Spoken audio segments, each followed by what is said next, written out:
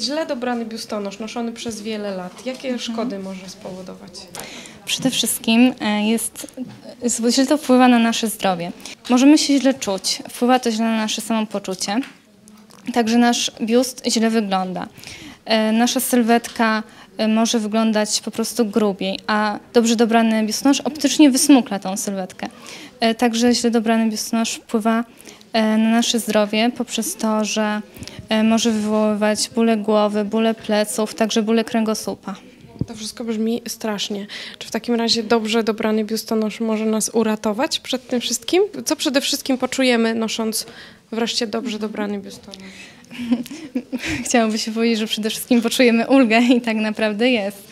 Agnieszka ma e, dobrze dobrany biustonosz, obwód, który trzyma porządnie, jak widzimy nie jedzie do góry, podciągnięte ramionczka. Ramionczka muszą być, nie da się powiedzieć jak mają być podciągnięte ramionczka tak naprawdę. E, nie powinny Panią spadać, ale powinno być tak, żeby było Panią wygodnie. Jeżeli zostają po nich czerwone ślady, jeżeli czują Panie, że, że, że to nie, że tak jest niefajnie, że za mocno, to nie należy myśleć, że tak musi być, tylko trzeba szukać innej konfiguracji, że tak powiem. W dobrze dobranym biustonoszu 90% e, ciężaru naszego biustu spoczywa na obwodzie, czyli tutaj. Więc ten ciężar, który dźwigają ramionczka nie jest aż tak duży.